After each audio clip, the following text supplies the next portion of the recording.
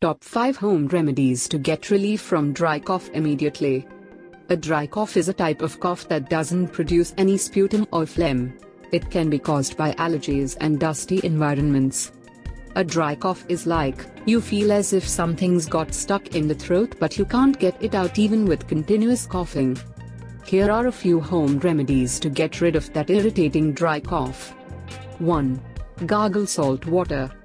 One of the most common remedies is to gargle with warm salt water. Salt water can help ease the discomfort caused by a cough. It will also help treat sore throat through osmosis.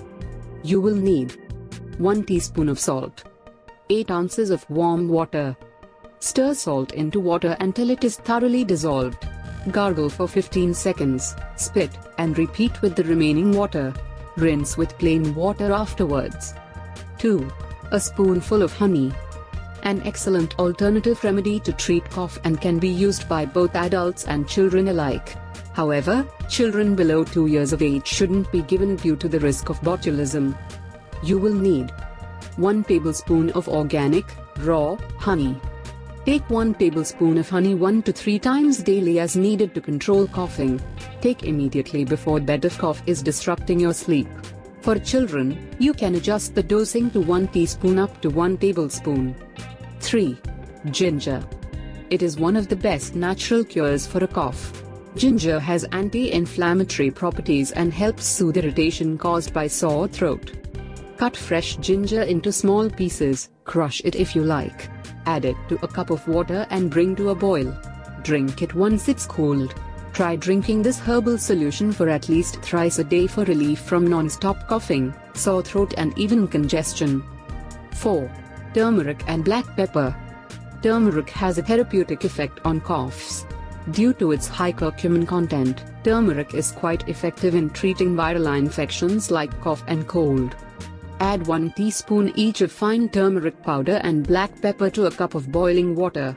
Boil this for about 2 to 3 minutes or until it comes down to half. You can add a little honey to this solution and take it thrice a day for a quick relief from dry cough. 5. Garlic. Garlic can be one of the best herbal cures for coughs.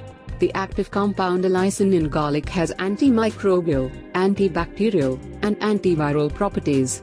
Allicin, which is responsible for the pungent odor of garlic, has a number of health benefits.